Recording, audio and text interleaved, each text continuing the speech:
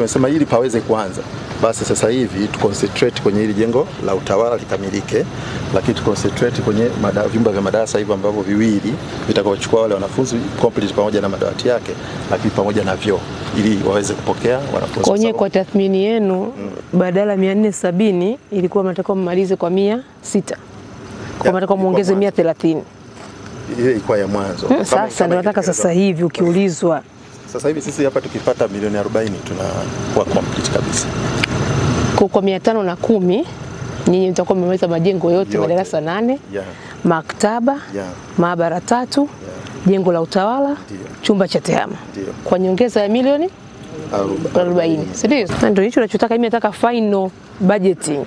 Ukiulizwa leo hii ili shule yako ya SEQUIP ya hapa Maswa ili ikamilike kwa asilimia mia moja na watoto waingie kwa asilimia moja ni shilingi ngapi? Mkuu, ngoja, mkuu, kwa sababu mhandisi wa mkoa alikuwa na timu ambayo ilifanya tathmini. mm.